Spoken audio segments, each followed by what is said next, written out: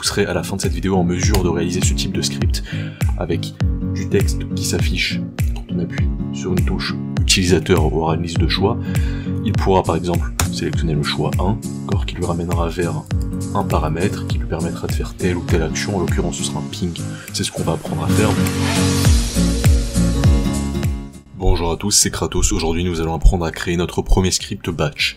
Tout d'abord, il vous faudra un éditeur de texte, donc Sublime Text, Notepad++ ou autre. Personnellement, je vais utiliser Vim, mais libre à vous d'utiliser l'outil que vous souhaitez.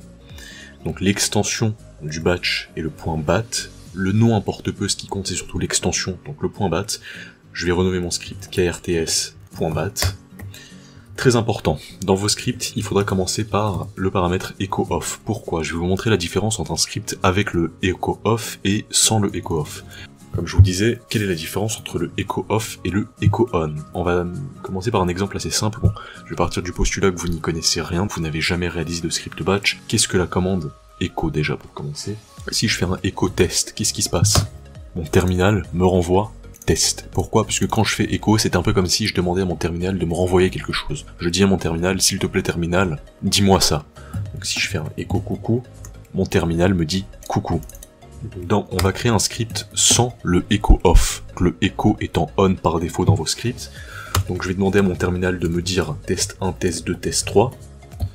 Je vais lancer mon script pour lancer le script. Vous lancez une invite de commande et vous tapez le nom de votre script, en l'occurrence krts bat. Qu'est-ce qui s'est passé quand on a exécuté la commande? On peut voir ma commande, echo test 1, le résultat de ma commande. Sur la deuxième ligne, c'est pareil, ma commande, le résultat de la commande, l'output.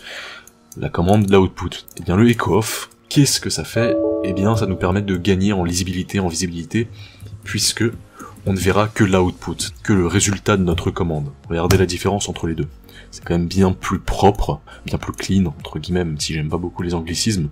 On a uniquement les résultats de nos commandes, alors qu'avec le echo on qui est activé donc par défaut, nous avons également les commandes.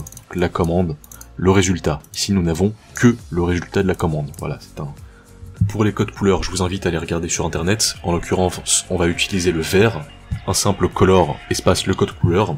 On va également faire un petit title Qu'est-ce que le title? Je vais vous montrer ça dans un instant, on va exécuter le script. Vous pouvez voir, bon déjà que la couleur a changé, et surtout qu'il y a un petit script by Kratos là-haut. C'est le titre de la fenêtre qui a changé. Passage, la commande CLS qui vous permet de nettoyer l'écran. On va commencer par créer une étiquette. Une étiquette, un label, c'est très grossièrement, d'accord? J'essaie de, de résumer ça grossièrement, c'est un programme. Au sein de votre script, vous pouvez réaliser différents entre guillemets programmes et les appeler. On va faire un deux points, c'est pour déclarer le nouveau programme. Deux points start. Je crée un programme qui s'appelle start. Juste avant, on va réaliser un goto. C'est tout simplement euh, ce qui permet au script de se rendre au programme. Comme je vous l'ai dit, on peut avoir différents programmes, donc par exemple un programme start, un programme exit. Si je fais là un goto start, ça me lance le programme start avec les commandes juste en dessous. Si je fais un goto exit, ça me lance le programme exit. On va faire un goto start et donc on déclare le programme start et on va commencer notre programme. Donc echo, bonjour à tous euh, et bienvenue sur mon script. On va ensuite faire un echo point. Alors le echo point, qu'est-ce que c'est? C'est un saut de ligne, tout simplement. Encore une fois, on gagne en lisibilité, en visibilité, et euh, encore une fois, bah, l'UX c'est assez important. Donc un petit saut de ligne, et on va faire une liste de choix. Je vous avais montré euh, mon, script tout à l'heure. On a une liste de choix qui s'offre à l'utilisateur. Et eh bien on va faire la même chose. Echo 1 est égal donc choix numéro 1 est égal ligne. Echo 2 donc choix numéro 2. On va mettre. Étant donné que c'est votre premier programme en batch, on va euh, faire quelque chose d'assez simple. Et de nouveau en retour à la ligne, et cette fois-ci, je vais essayer de vous expliquer le principe des variables c'est là que l'utilisateur va pouvoir sélectionner quelque chose. Pour vous expliquer le principe des variables. Donc déjà, la commande, c'est set espace le nom de la variable à déclarer est égal, et vous pouvez donner une valeur à cette variable, en l'occurrence par exemple 18, si vous avez 18 ans, on va mettre par exemple 20, d'accord? Donc 7. Alors 7, je déclare quelque chose. Âge. Je déclare une variable qui s'appelle âge. Cette variable est nulle. j'affecte la valeur 18 à cette variable. Ça peut être du texte dans cette valeur, mais en, l'occurrence, euh, c'est l'âge. J'affecte la valeur 18 pour appeler cette variable. Comment fait-on? Eh bien, on fait un pourcentage, le nom de la variable, pourcentage, tout simplement. Alors, je vous rappelle qu'echo c'est pour dire au terminal de me renvoyer quelque chose, donc je veux qu'il me renvoie la valeur de la variable âge. Et voilà, 18. Si j'avais mis âge est égal à 20, on m'aurait renvoyé 20. Donc, on déclare dans un premier temps la variable choice input est égale, sauf qu'on va, la laisser en nul. Simplement, on la déclare. Cette fois-ci, par contre, on fait un set slash p. Paramètre slash p est très important puisqu'il permet de demander à l'utilisateur d'y implémenter une valeur, d'accord, dans cette variable. set slash p, choice input est égal. Et là, ça sera à l'utilisateur de rentrer quelque chose. Je vais, vous je vais vous montrer ce que ça donne.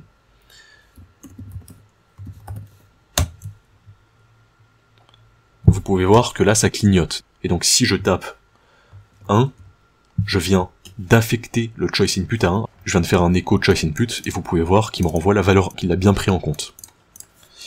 Par contre, vous pouvez voir que bah, au niveau de l'UX, c'est pas terrible. Je veux dire, on a simplement euh, quelque chose qui clignote, l'utilisateur ne comprend pas forcément. C'est pourquoi après le égal, alors quand il y a la valeur slash p, cette fois-ci, c'est pas à nous de rentrer manuellement quelque chose, ce sera l'utilisateur. Nous, par contre, euh, après le égal, on peut mettre un texte pour l'utilisateur. Cette fois-ci, on va mettre, par exemple, merci de bien vouloir faire un choix. Et regardez ce que ça donne. Voilà, vous pouvez voir que c'est bien mieux. Merci de bien vouloir faire un choix. Donc si je fais 2, eh bien, ma variable choice input sera égale à 2. Si je mets 1, ma valeur choice input sera égale à 1. Je pense que vous avez compris le principe. On va passer cette fois-ci aux conditions. Le if. If pour si. Si telle condition fait ça. If pourcentage choice input Donc là en gros c'est si la valeur de choice input est égale à 1. Donc en gros, si l'utilisateur, bah, il a rentré 1, la valeur, eh bien, on va faire un goto euh, choice 1, qui fait pourcentage choice input, pourcentage égal 2. Voilà, alors là vous allez me dire, mais attention, tout à l'heure tu nous parlais du goto euh, pour euh, mettre dans des programmes, mais le, le, programme choice 1, choice 2 et exit, il n'existe pas, oui. C'est pour ça justement qu'on va les créer maintenant. Si la valeur dans choice input est à 1, on va aller dans l'étiquette dans le programme choice 1. On l'appelle. On crée donc un nouveau, entre guillemets, programme qui s'appelle choice 1. Ce sera notre premier programme. Alors par la suite, on fera un petit choice 2 et un exit. Mais ça, on verra plus tard. On commence par notre choice 1. Alors on commence déjà par un CLS, très important. Le CLS, euh, il me semble que vous l'aurez montré tout à l'heure, mais c'est tout simplement pour nettoyer le terminal. Donc on commence par un CLS pour nettoyer tout ça, d'ailleurs, pour que ce soit un petit peu plus lisible, et on va déclarer une nouvelle variable. Voilà, maintenant, bon, le but étant de réaliser un ping sur l'adresse voulue. Donc en fait c'est un, programme assez, euh, enfin un script d'ailleurs, c'est même pas un programme, un script qui est assez classique, assez sommaire, assez simple. Ce n'est qu'une introduction finalement au scripting. En vrai dire, vous serez assez limité de toute façon par euh, le batch, d'accord, par le, CMD. Donc, si vous souhaitez réaliser des, choses bien plus avancées, je vous invite à vous intéresser à PowerShell. Ping. Avec certains paramètres, le paramètre "-4-n3", que sont ces paramètres d'ailleurs? Pas le but de la vidéo, mais je vais quand même vous donner une petite information pour ceux qui ne la connaissaient pas. Vous pouvez avoir le, entre guillemets, le man page, donc la page de manuel, en tapant espace slash point d'interrogation, ping, espace, slash point d'interrogation, et vous pouvez voir qu'on me donne ces paramètres.